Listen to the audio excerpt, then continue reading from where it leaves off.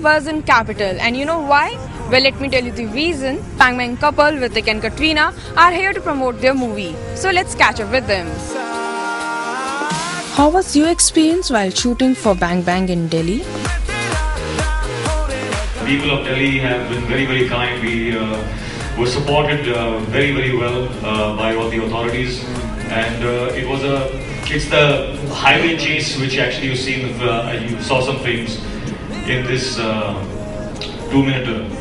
So uh, it, I think it was. It's uh, the first time that I have shot something so elaborate and uh, so uh, in such a, at such a big scale uh, in real. You know, normally we put up a set and it makes it easy, but we actually shot it in the outdoors. Everything that you see is real. So it was an it was a fantastic experience.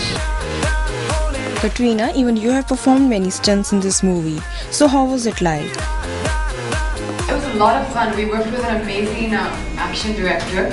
Um, he was uh, he was from America and he was extremely passionate about it. Very safe, um, but was really encouraging of everything you wanted to do on your own. So he would just make sure you were comfortable first, and if you wanted to do it, he was there with you to fully support you. And um, I, I was really excited. Directed by Siddharth Anand, Bang Bang is slated to release on 2nd October 2014. Correspondent Jagmeet Suri with camera person Ajit from Gurgaon for ANI.